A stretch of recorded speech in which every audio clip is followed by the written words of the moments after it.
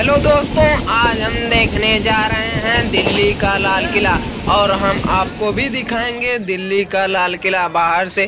किस तरीके से दिख रहा है और यहाँ पर देख सकते हैं बहुत से लोग बैठे हुए हैं और टहल रहे हैं यहाँ पर बहुत से लोग फोटो खिंचवाने के लिए भी तैयार हैं आप सामने देख सकते हैं ये अंकल जी फोटो यहाँ पर अपने बच्चे का खींच रहे हैं बहुत से लोग टहलते हुए नजर आ रहे हैं